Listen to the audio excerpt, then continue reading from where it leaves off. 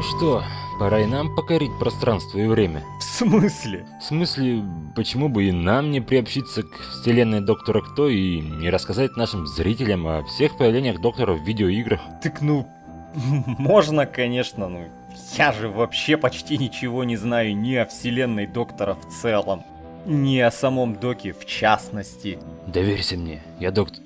Тьфу. Короче, просто доверься и держи сценарий, а я как большой фанат, покопался в этих ваших интернетах и кое-чего нашел. Ну давай, чё. Так, доктор, ага. Там боль культа еще далеки.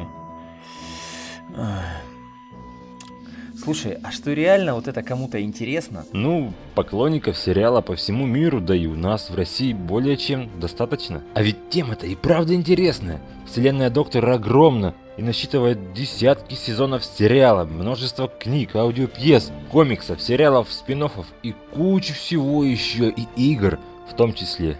Ты прочти первый вводный абзац вслух. Заодно введем в курс дела всех тех, кто не в курсе, что это за сериал такой был. Да и есть, в общем-то. Ну, давай. Значит, доктор кто у нас, да?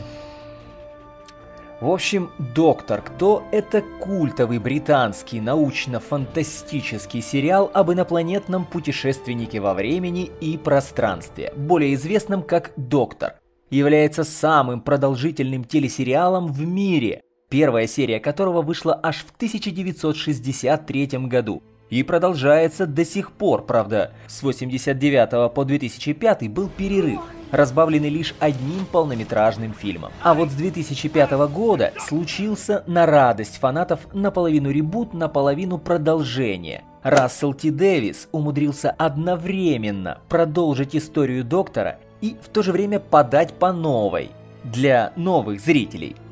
Еще в прошлом веке сценаристы сериала придумали интересную фишку. Чтобы не вводить каждый раз нового персонажа на главную роль, создатели ввели в сюжет так называемую регенерацию, то есть когда доктор получал серьезные ранения по сценарию, по факту же чаще всего актер по тем или иным причинам не мог дальше сниматься, он регенерировал, то есть оставался самим собой, но с новым лицом, характером и привычками однако неизменно оставляя при себе все свои воспоминания. Что, в общем-то, и делает этот сериал одним из самых долгоживущих. На данный момент уже вот-вот 12-й доктор Питера Капальди регенерирует в нового. Ну а пока этого еще не произошло и ждать рождественской серии черти сколько, давай скоротаем время за видеоиграми. Вспомним, сколько их выходило про вселенную доктора. Итак, Одна из первых игр, где фигурирует Доктор Кто, Doctor Who Dalek Attack 1992 года для платформы DOS. Фу, ничего себе. Состряпали ее ребята из компании Alternative Software. В ней вы попеременно примеряете на себя роль аж трех докторов. Второго, четвертого и седьмого. И вооружившись звуковой отверткой, пытаетесь остановить вторжение на матушку землю даликов. Э, и не забудь сказать, что Далики — это один из самых первых и злейших врагов Доктора под руководством Давроса. Да ты, в общем-то, и сам все сказал. Игра, между прочим, на двоих игроков.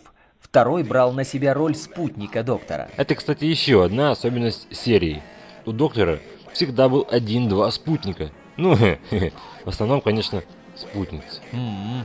Ну, в общем, следует канонам и игра. Стартует сюжет в немного неожиданном месте, в лондонской канализации, где нашему герою предстоит сражаться с врагами, управляя летающей бочкой с прикрепленным лазером. Чего? Ну ладно, оригинально. А потом игра предстанет уже более традиционным платформером с видом сбоку. Графоний в игре выполнен в рисованном стиле и довольно красив.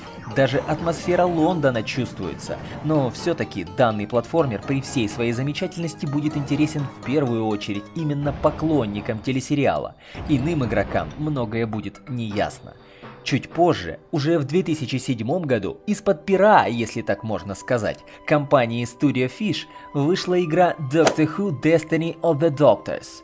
По сюжету мастер, а это, как написано у меня в сценарии, еще один из главнейших, злейших врагов Доктора. В то же время по совместительству и его лучший друг детства. В общем, персонаж, с которым у доктора всегда были сложные отношения. Ага.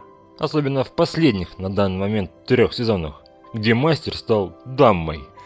А, так, я думаю, многие это могут принять за... Спойлеры. Так что давай, завязывай. Так вот, мастер взял под контроль планету Силарос, состоящую из чистой энергии, а также захватил все семь воплощений Доктора из прошлого и будущего. На тот момент их было всего семь.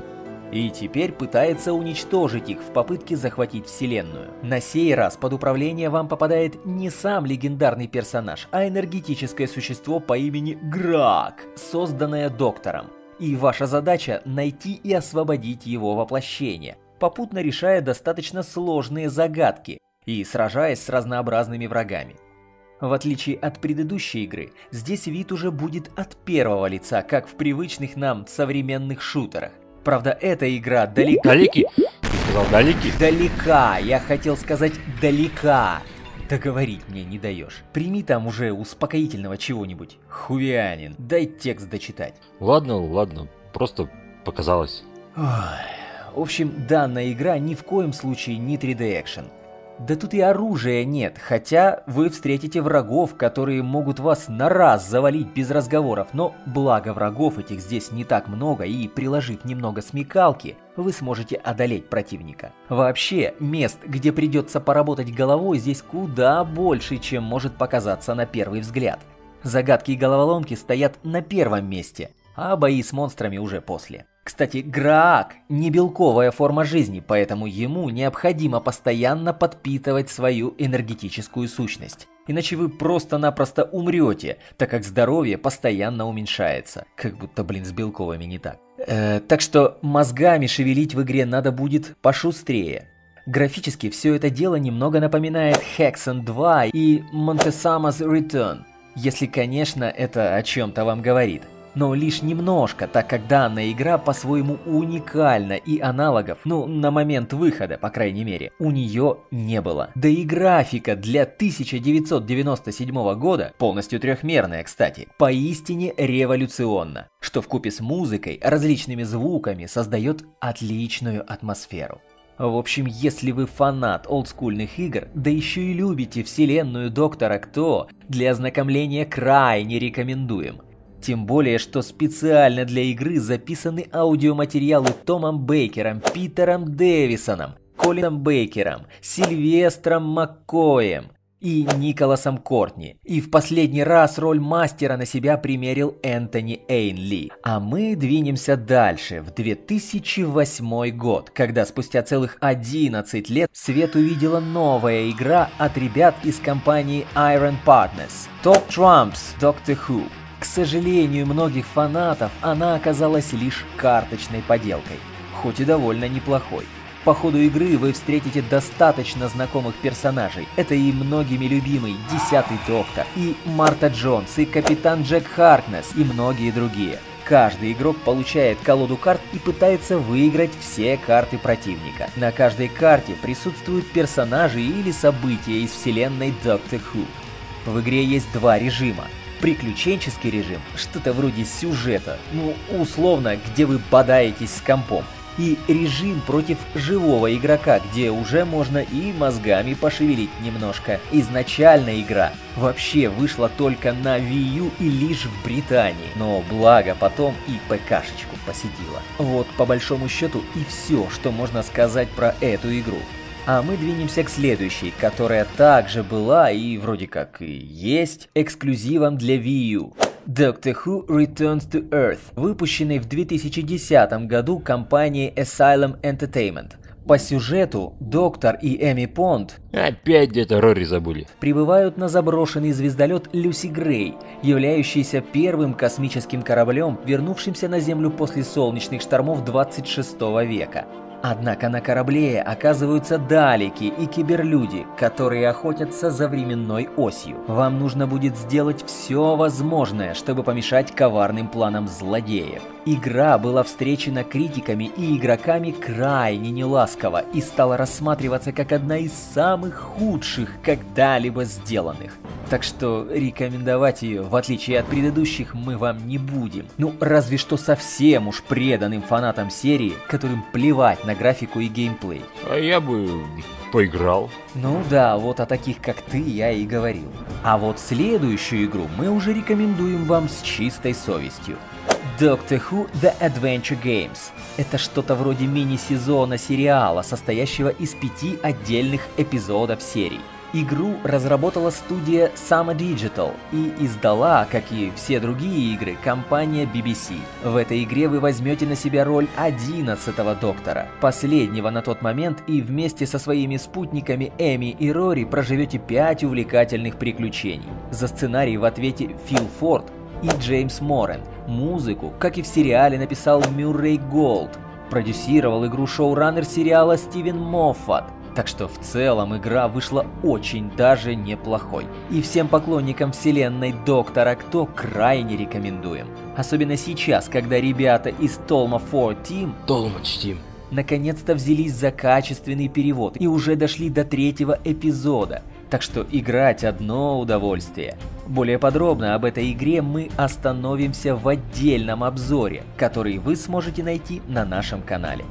Спустя год после выхода предыдущей игры на свет появилась Doctor Who The Eternity Clock и должна была стать первой из серии игр, объединенных общим сюжетом. Но, увы, в 2013 году было объявлено, что разработка дальнейших игр временно приостановлена. Вновь главным героем стал 11-й Доктор, а спутницей его жена Риверсонг. Эти два персонажа путешествуют сквозь пространство и время, чтобы собрать воедино все части артефакта, известного как Часы Вечности, и являющегося хранилищем записей обо всем, что было, есть и будет во Вселенной. Игра, на наш взгляд, вышла довольно добротной, хотя и была довольно прохладно встречена критиками. Но если, как уже мы говорили, вы являетесь поклонниками серии, то без раздумий приступайте к прохождению, тем более благодаря все тем же ребятам из Толма 4 Team Да ты меня игноришь, что ли?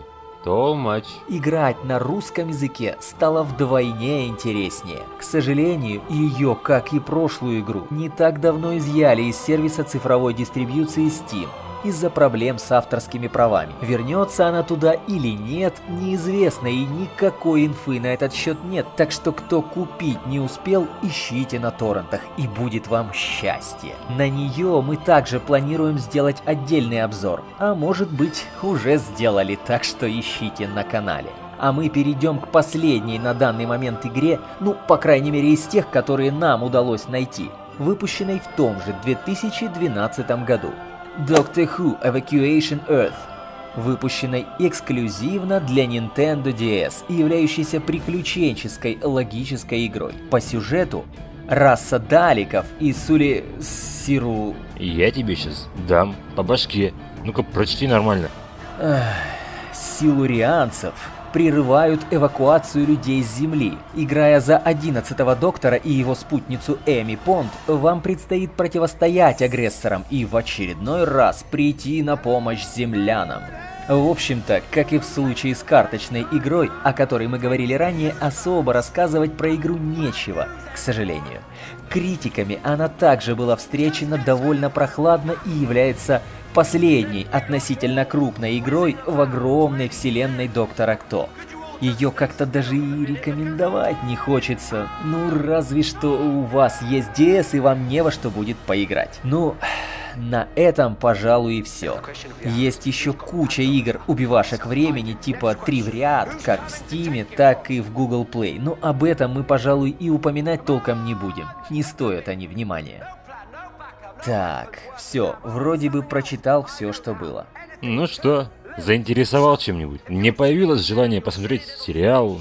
Побольше узнать о вселенной ДК? Да как тебе сказать? Давно хочется, да все времени нет. Сам же знаешь, как-то одну серию я уже смотрел. Ну, чтобы проникнуться, тут одной серии мало. Не поймешь ничего. Ну да, наверное. Ну, в общем, на этом будем прощаться, как всегда. Если мы чего-то там забыли или упустили, обязательно пишите об этом в комментариях. Не забывайте ставить лайки и подписываться на наш каналчик. Впереди еще много чего интересного. А мы пойдем нальем бензинчика в нашу Тардис и отправимся на поиски других интересных игр. До новых встреч в новых видео. Всем пока!